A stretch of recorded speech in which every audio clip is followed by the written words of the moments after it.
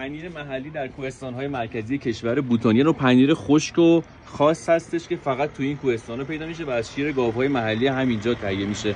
خیلی سفته.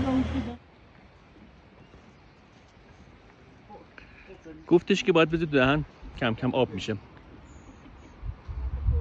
سیبای محلی هم اینجا گذاشتن. یه مدل خاصی سیباشون یه ذره خالخالی و انگار تو ژاپن هم چیز دیده بودم این شکلی. بهش میگن لی. یک کیلوش دو دلاره. یک کیلو دو دلار. با آب معدنی از چشمای همینجا گفتیم بشونیمش این سیبو. خالخالیش رفت انگار.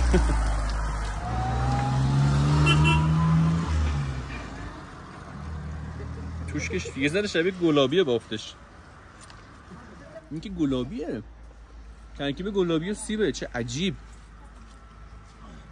چقدر خوشمزه است. سیب که مزه گلابی بده.